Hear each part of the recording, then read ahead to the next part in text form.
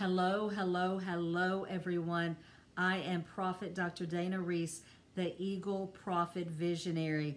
I want to thank you for coming and to my channel and watching this video. And I want to ask you to subscribe to my channel so that you will receive notifications of prophetic words that I will be releasing in the future. I try to release um, anywhere from one to two prophetic words every week.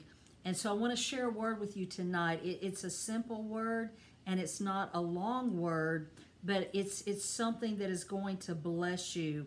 And so God spoke to me today. He said, he, he spoke a simple sentence. He said, I am reconnecting disconnections. Let me say that again. He said, I am reconnecting that which has been disconnected.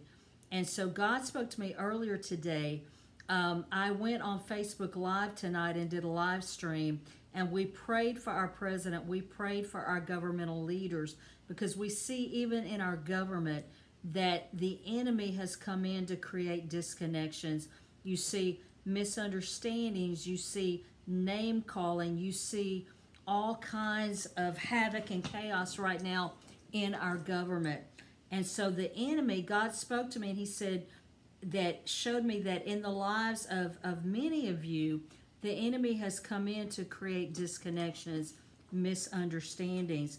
And so I'm going to share a word with you. It's not going to be a long word, and then I'm going to pray for you tonight because I, I want to bless you with the anointing of the Holy Spirit tonight in Jesus' name. And so the enemy comes in to create disconnections in purpose in relationships, in communications, to, to disconnect you from your money, to disconnect you from, um, to, to try to disconnect you from following the will of God or the plan of God. But Satan is a liar. And so we see even in the book of Esther how Haman came in and tried to destroy the Jewish people and create a disconnection. But we also see that Esther Esther was a Jewish woman. She was a woman of God. She was married to the king of Persia. And he, you know, there's no indication that he even knew God. She may have been the only really true woman of God in that whole palace. But because of her prayer, because of her obedience, um, the Holy Spirit came in and that attempt to disconnect the Jewish people was aborted and then the reconnection was established because God's purpose for the Jewish people continued. And so, what the enemy wants to do is he wants to disconnect people from God's purpose and plan and will for their life. But Satan is a liar. And so, we see that God is a God of restoration. And so, I'm going to pray for you in just a few minutes, and I'm going to pray that everything that the enemy has brought against you to try to create disconnection and disorder and chaos in your life is canceled in Jesus' name. In Jesus' name. So, the definition of disconnect is to detach, disengage, unhook, unhitch, separate, sever, and cut off to deactivate. You know, um, if you plug your, your lamp, the electrical cord, into the power outlet, if you unplug it, it's disconnected. Your light is cut off. So there's power in unity. The Word of God says that uh, two are better than one, and a threefold cord is not easily broken. So God is a God of covenant, He's a God of relationship. So the enemy wants to come in and create disconnections to disrupt power, to disrupt unity, to disrupt um, um, purpose from going forth. But we also see, when we look at the definition of reconnect, it means to reestablish a bond of communication or emotion the act or result of restoring a connection, the state of being connected, to join or be joined with something else again after becoming separated. It also means to improve a relationship that has become less good or less close. It can also mean to connect a piece of equipment with the power supply after that connection has been broken to create a relationship with someone after a period of time. And so, if you have experienced any kind of disconnection in any area, be it relationships, communications, uh, maybe um, you've experienced a disconnection um, to your money, to to some kind of purpose or plan. Maybe the enemy has come in and tried to create distractions and delays and disruptions.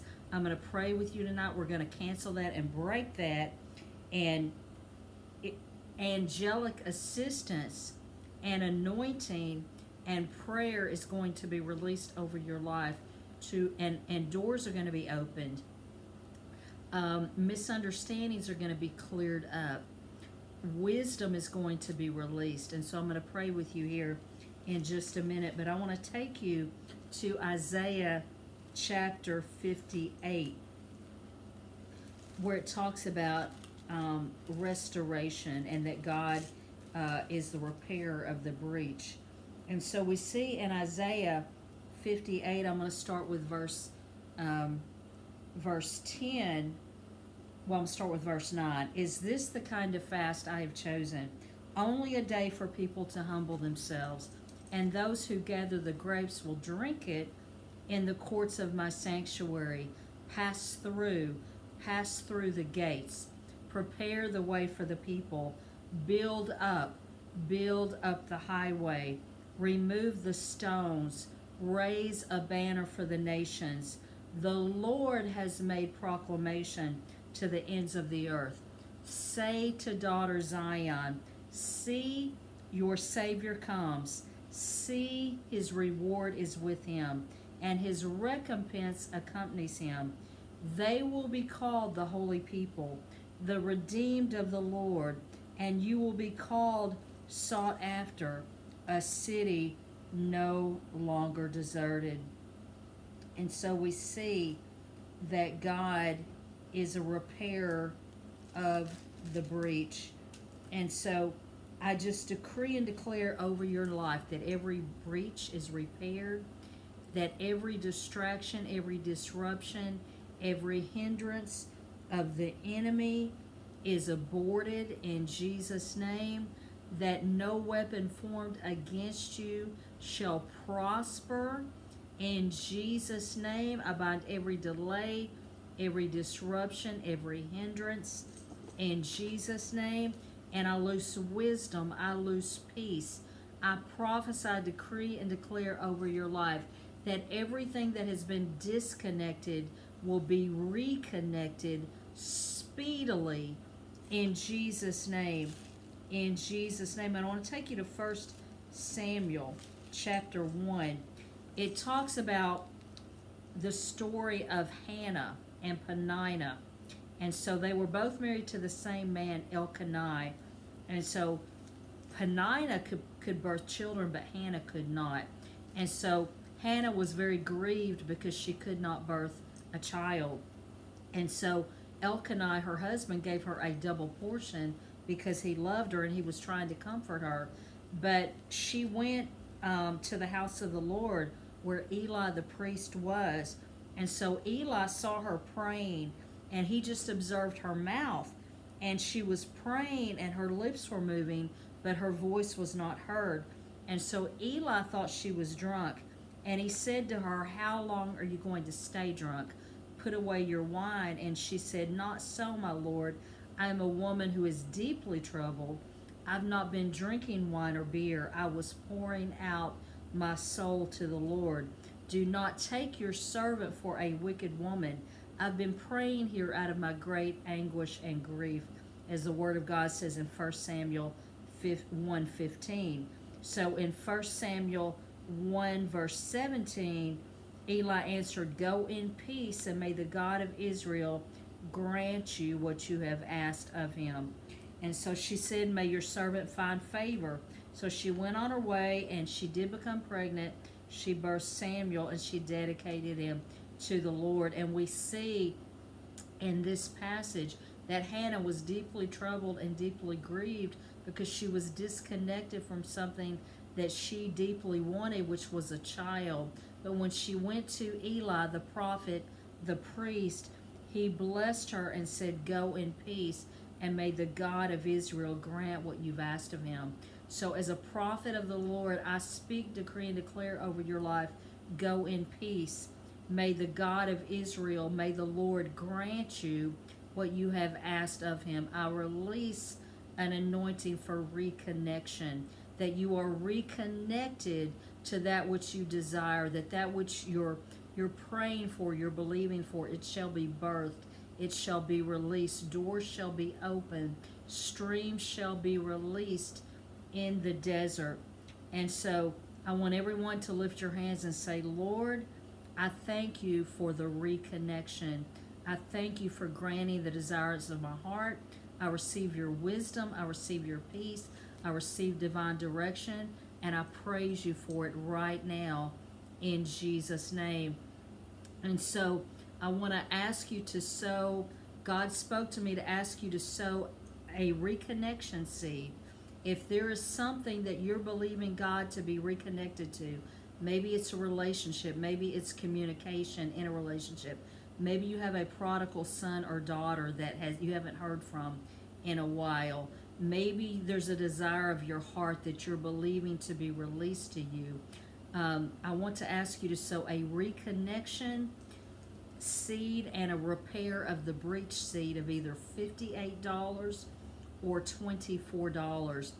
If you want a prophetic coaching call, send me a seed of $95 and I will email you back with a time and a date where I will spend an hour with you doing coaching. I also offer customized coaching packages.